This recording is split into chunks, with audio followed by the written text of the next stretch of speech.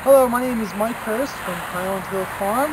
Today we have in front of us a Japanese weeping maple, and I'm going to tell you how to water and how to fertilize it. When we fertilize our plants, we usually fertilize them about once or twice a year. The first time is just to make sure that it's the right color, and the second time is for next year's growth. The reason that we are concerned about fertilizing for next year's growth is that a Japanese maple is considered to be a determinate plant. A determinate plant means that each and every year that when it grows out, there's a determinate amount of leaves and stem that can be formed.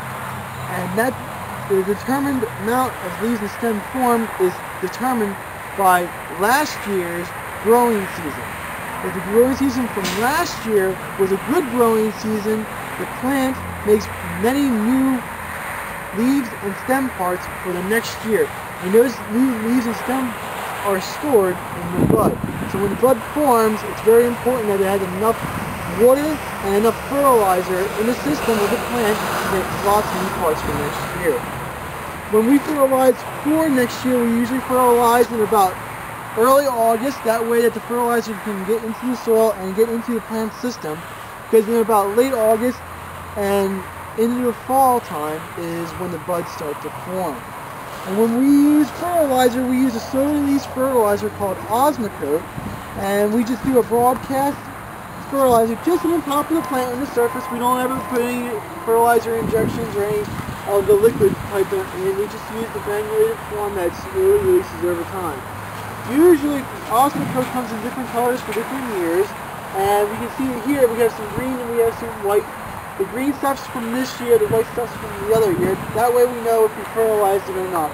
And when we fertilize, this is just an example of some Osmocote, we just put four in our hand and we just do a light broadcast just over the top. Kind of like that, just making sure that there's enough fertilizer on there for it to last most of the year. Well, Osmocote comes in different kinds. You, know, you have to read a label for how long each one lasts and for the strength. Uh, the other topic we're going to talk about is how to water these guys one after you plant them.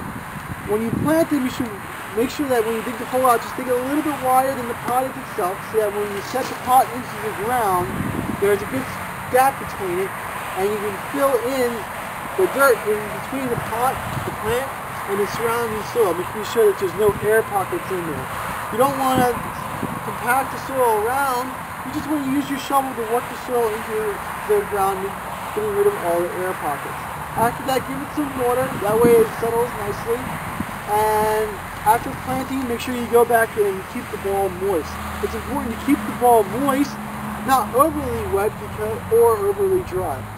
Uh, once, if it's overly wet, there is no oxygen that gets into the soil, and then the root starts to rot and, and it dies. The whole plant dies. If it's too dry, the roots no longer grow and the plant wilts and roots don't have cuticles on them so once they dry out, they're, they're toasted. So just make sure that the keep, keep it moist and the plant should do fine. If you have any questions about the Japanese maple, just give us a call at 215-651-8329. Thank you. Uh, this is a block of uh, witch hazel vernalis. They run in here anywhere from about four to five up to seven to eight and some eight to nine down in the lower end. Uh, beautiful heavy block. Uh, very nice plants. Good native tree. We're here at Highland Hill Farm on Route 313 and these are our real nice looking burning bush, Euonymus elatus compacta. These are about four foot high, four to five foot high, and uh, they're uh, a heavy, heavy plant here. They're in a 22 inch ball and as you can see, after we dig them, we uh, put a drip water line system down for them to take care of them. These are $60 until the end of 2009. And we have about 400 of these to sell. And you're welcome to come out to the farm and take a look at them. We're located on Route 313 in Fountainville, PA. These can take a little bit of shade.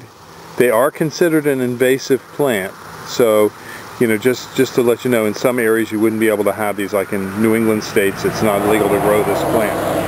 But it's okay in Pennsylvania, as far as I know, New Jersey and other local states. So just give us a call at 215-651-8329. This is a real nice looking bush, is it not?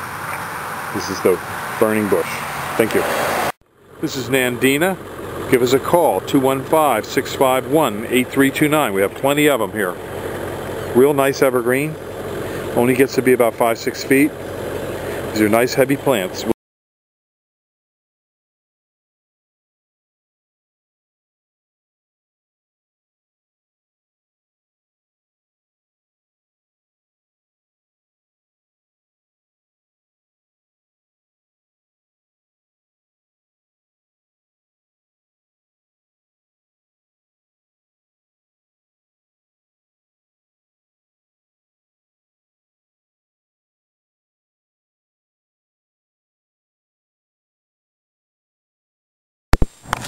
These are three-foot Leyland cypresses here at Highland Hill Farm on Route 313 in Fountainville, PA.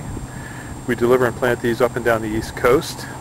We sell thousands of thousands of Leyland cypresses and green giant arborvitaes each year. These are our three-foot Leyland cypresses. Next to it are our four-foot.